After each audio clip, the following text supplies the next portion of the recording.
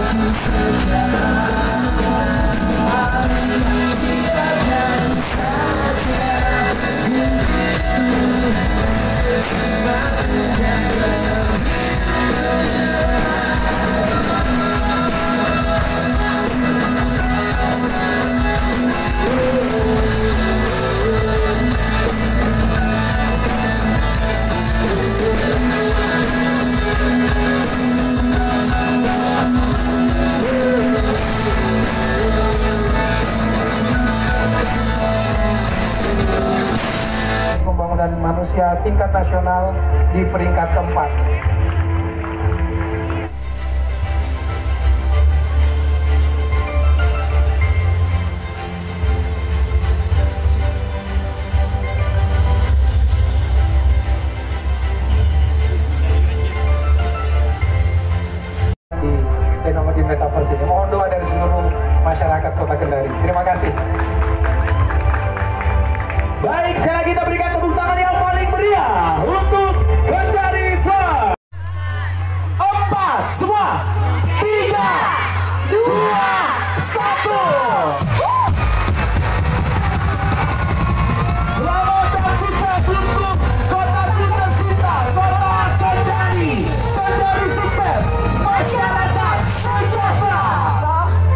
Yang selalu memperhatikan masyarakatnya, meningkatkan kesejahteraan dan selalu kemajuan teknologi itu yang utama. Karena kita nggak mau pernah terpuruk oleh teknologi.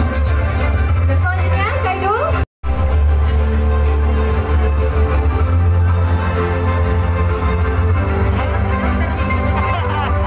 seluruh rangkaian peringatan ulang tahun Kota Kendari, puncaknya malam hari ini, dan mudah-mudahan kalau kita lihat antusiasme masyarakat luar biasa, saya berterima kasih pada seluruh masyarakat yang sudah terlibat dan ikut meramaikan peringatan ulang tahun Kota Kendari.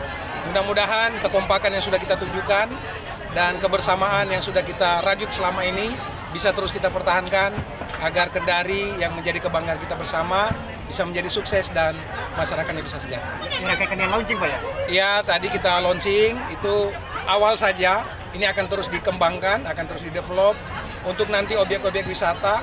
Termasuk nanti kita akan coba menghidupkan eh, sejarah Kota Kendari.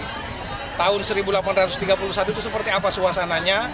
Kita akan coba upayakan agar nanti kita hadirkan di metaverse supaya anak-anak kita itu tidak kehilangan eh, memori tentang bagaimana kota Kendari di awal pertama kali ditemukan Teluk Kendari ini yang dikenal dengan Kandai. Itu. Makasih ya.